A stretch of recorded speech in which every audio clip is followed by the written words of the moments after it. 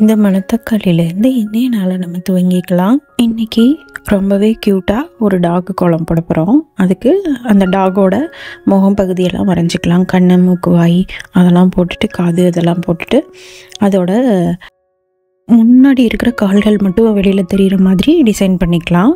அது வந்து ஒரு கூடையில் இருக்கிற மாதிரி அதாவது பலூனை வந்து வச்சிட்ருக்க ஒரு கூடை. அதை வந்து டிசைன் போட்டுட்டு அதுக்கு வால் போட்டுட்டு பலூன்னு சொன்னேன் இல்லையா? அதனால் பலூனுக்கு ஏற்ற மாதிரி இத்திர நூல் வந்து போட்டுட்டு சுற்றி வந்து பலூன் ஷேப்ஸ் ரெகுலராக வந்து அங்கங்கே போட்டுக்கலாம். பலூனுக்கு பதிலாக பேராஷூட்டும் நம்ம போட்டுக்கலாம். ஹார்ட் ஷேப் பலூனும் போட்டுக்கலாம்.